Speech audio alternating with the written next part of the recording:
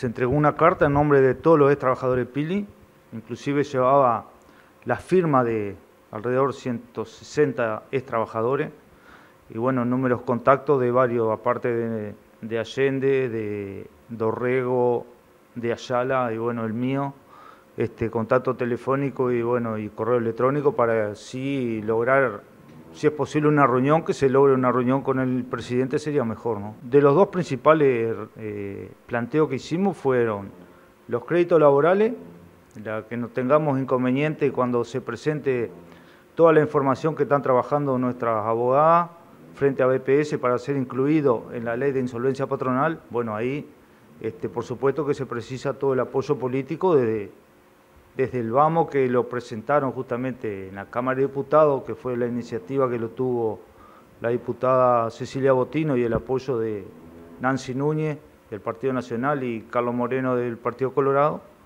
Y bueno, al respecto de eso, tener este y no ser rebotado, vamos a decir, en, el caso de, tenernos en cuenta. ¿no? El otro punto que planteamos, que esa iniciativa la tuvo el diputado Moreno justamente, este, donde tuvo el apoyo de los otros dos diputados por el departamento y bueno, el planteo está hecho, ¿no? Pues hay varios ex trabajadores con 50 años de edad en adelante y varios años de aporte de trabajo, más de 30 te diría yo, algunos hasta 35.